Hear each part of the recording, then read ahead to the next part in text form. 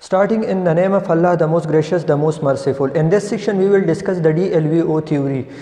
Simply, DLVO is the abbreviation. These are the uh, four scientists' name. D means Derjaguin, L, L means Landau, V means Verwey, and O means Overbeek. This theory is uh, produced by these four scientists, and uh, powered purpose these theory are produced. If two charged particles are placed and the distance between these two charged particles are the charges between these particles are changes. So what will occur? What is the result? If uh, distance between the particle or charges between the particle are changes, so what will occur? This theory uh, uh, best uh, explain this phenomena. And DLVO theory uh, explain uh, the stability of the lyophobic colloid. Stability of lyophobic colloid. Lyophobic colloids. We explain uh, this theory with the help of a graph. So first we draw the vertical line. This is y and this vertical line represent the energy difference of the particle. Energy difference. And we draw the x-axis line. This is the x-axis and this line represents the distance between the particle. Distance between the particle.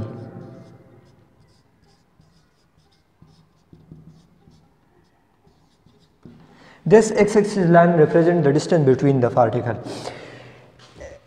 this is the zero point above the zero point this line represent the force of repulsion this line represent force of repulsion. Force of repulsion. And below the zero point this line represent the attractive forces. The attractive forces. If the same uh, if uh, two particles having the same charges are placed so the distance between the particle is increases because they have the same charges and they repulse each other. So this particle we represent it with this curve.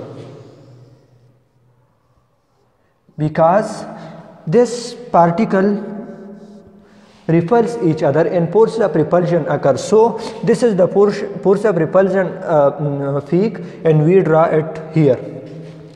And if the two particles having different charges, so the forces of attraction occur between these charges and we draw below the zero point peak.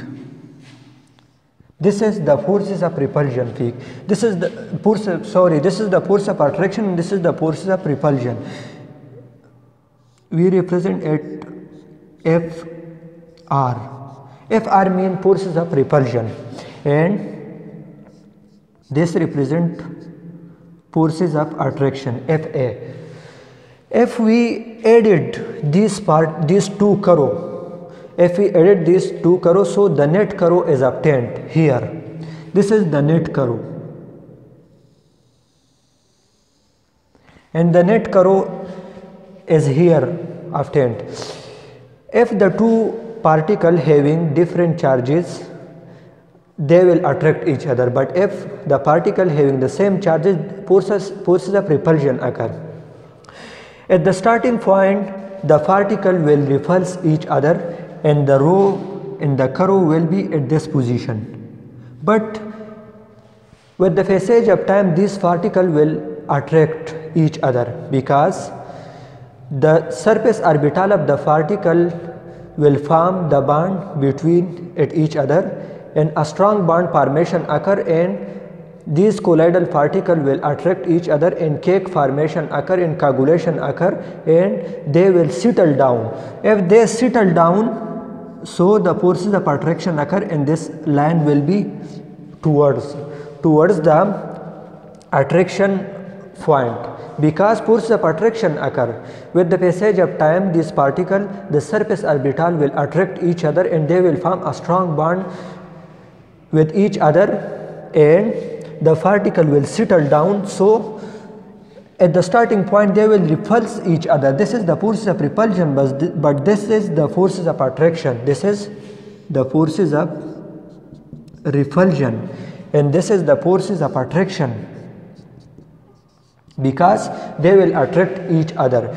And this point in which the forces of repulsion this is the end point of the force of repulsion. This point is called the primary maximum. primary maximum. And this point in which the forces of attraction occur this point is called the primary minimum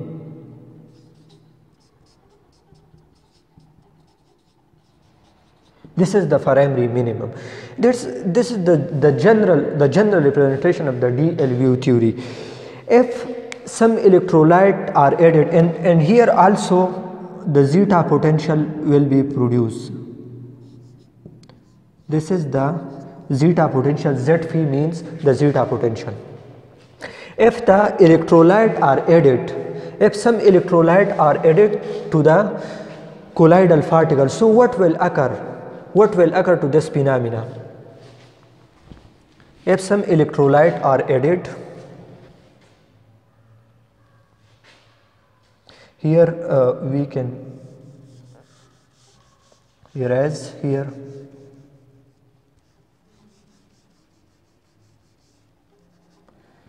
we erase all the graph that we bestly explain these phenomena.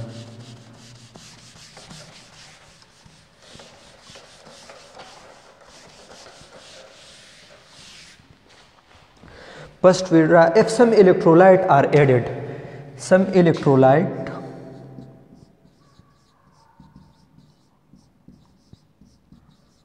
are added are added to the colloidal particle C phi mean colloidal particle if some electrolyte are added to the colloidal particle so what will occur we draw again we draw the graph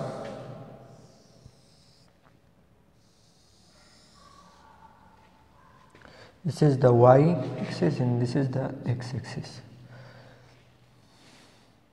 This is the forces of repulsion and this is the forces of attraction. If some electrolyte are added to the colloidal particle if we consider this is the colloidal particle this is the two colloidal particle. If some electrolyte are, uh, are added to it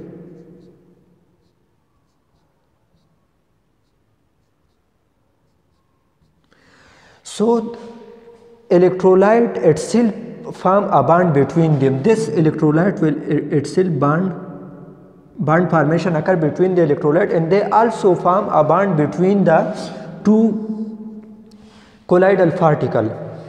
And these bond are loose. These bond are like this with some distance.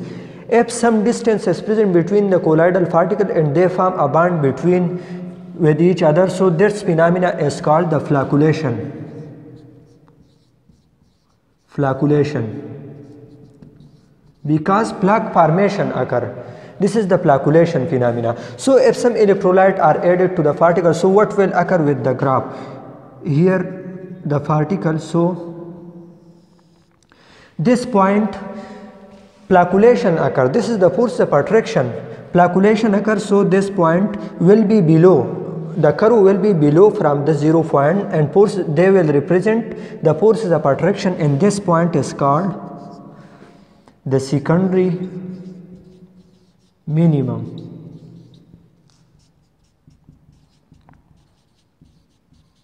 This point is called the secondary minimum. But with the passage of time uh, if uh, secondary minimum occur because the electrolyte will suppress the electrolyte will suppress the colloidal particle and if they suppress the colloidal particle and bond formation occur the zeta potential will be decreased. Zeta potential zeta potential will be decrease and the primary minimum the primary maximum is also decrease primary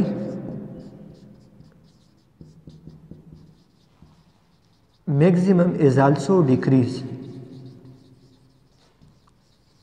The primary maximum is also decreased and the zeta potential is also decreased. And this point is called the secondary minimum. With the passage of time the secondary minimum point the forces of attraction will be lost because the electro the, the this is the colloidal particle. This is the colloidal particle. This colloidal particle will absorb the electrolyte. If they absorb the electrolyte If they absorb the, the electrolyte, so the bond will be lost. And the particle will be repulse each other. Then the curve will be at this position and the same phenomena occur that we draw uh, uh, with previous graph. The particle will again repulse and the forces of repulsion occur. This is the forces of attraction forces of attraction Fa means force of attraction and again the forces of repulsion occur between the colloidal particle and this uh, this point is the uh, primary maximum. And this is the zeta potential. Uh, uh, during the secondary maximum the zeta potential is is decreased and the uh, primary maximum is also decreased that we shown here. This will be a decrease and with the passage of time the electrolyte will be absorbed and the force of repulsion occur and again the phenomena occur uh, uh, with the passage of time uh, the particle um, surface orbital will be um, form a bond between with each other and the force of attraction again occur and they will reach to the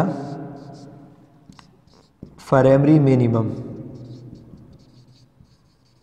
this is the forces of attraction.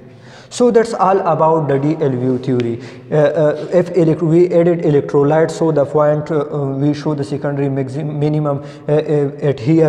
This is the force of attraction, but some distance present the, between the um, the particle, and this phenomena is called the flocculation. Plaque formation occur. Generally, pla flocculation are those phenomena in which the the particle att attract each other, but this bond formation is loose bond formation is loose. And the particle will move here like this and they uh, doesn't uh, move and doesn't uh, attract uh, nearly each other. This phenomenon is called flocculation due to this flocculation the secondary minimum occur force of attraction occur but with the passage of time the electrolyte will absorb and the phenomena will shown here. So that's all about the d theory. So thank you very much